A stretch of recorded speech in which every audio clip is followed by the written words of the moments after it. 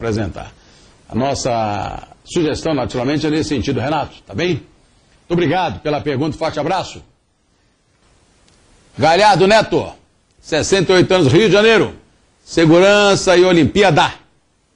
Tem um assessor meu aqui que fala assim, presidente, de vez em quando você fala Olimpíade, isso acontece, eu estudei latim. E vem de Olimpíade mesmo. Então não é errado falar Olimpíade não, tá?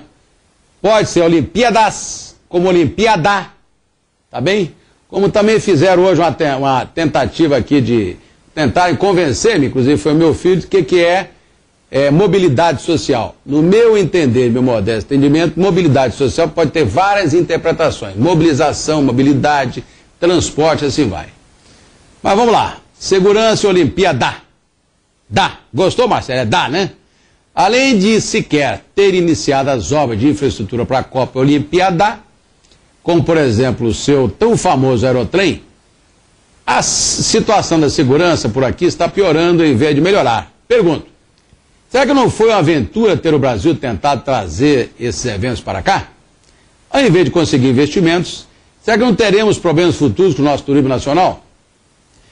Olha, estava ouvindo ontem uma entrevista no Canal 40, Globo News, e um assessor do ex-prefeito Giuliani está dizendo que Nova York, há 20 anos atrás, vivia numa situação de barbárie, tipo Rio de Janeiro.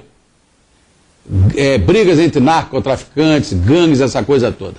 O prefeito Giuliani colocou uma ordem dura, dura lex sed lex, duríssima, para cumprirem em um ano. E conseguiram. Chegaram à criminalidade quase zero. Prenderam, expurgaram, deram penas perpétuas. Nada desse negócio de 20, 30 anos, que o camarada com um terço, depois com 15, 20 anos já está na rua, não.